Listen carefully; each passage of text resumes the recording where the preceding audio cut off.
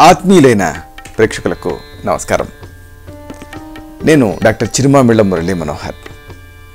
ఈ కార్యక్రమంలో ఈ కార్యక్రమాల పరంపరలో మనల్ని మన కుటుంబ సభ్యుల్ని ఇలాగా మనందరినీ ఇబ్బంది పెట్టేటువంటి అనేక రకాల సమస్యలకు అతి సులువైన అతి విలువైన అతి తేలికైన అతి శక్తివంతమైన ఆయుర్వేద ఔషధాన్ని వీటి తయారీని సవివరంగా శాస్త్రీయంగా నేర్చుకుంటున్నాం.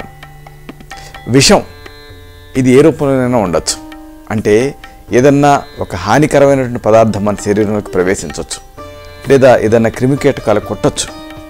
ఇలాగే ఎలాగైనా కానీ విషం మన శరీరంలోకి ప్రవేశించినప్పుడు దానికి విరుగుడు అవసరం.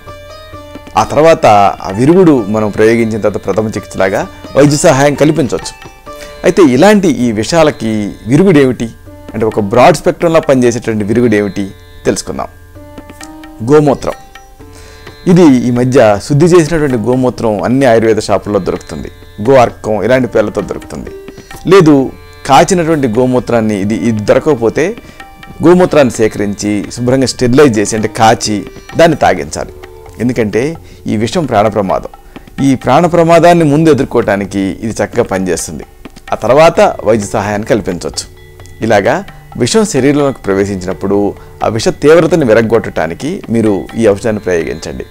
కాచినటువంటి గోమూత్రం.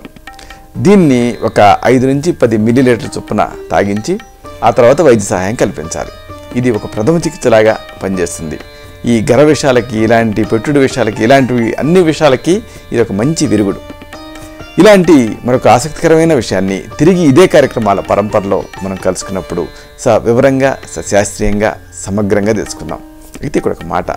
ఇలాగా ఈ ఔషధాన్ని ప్రయోగించే ముందు దీన్ని చాలా పరిశుభ్రంగా ప్రయోగించడం అవసరం. అలాగే గోర్కం ఇలా స్టెరిలైజ్డ్ ఈ కౌ యూరిన్ ప్రయోగించడం అవసరం.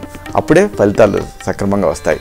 సరైనటువంటి వైద్య సహాయం తీసుకొని వైద్య సలహాతోటి ఆయుర్వేద వైద్య సలహాతోటి దీన్ని వాడితే మంచి ఫలితం ఉంటుంది.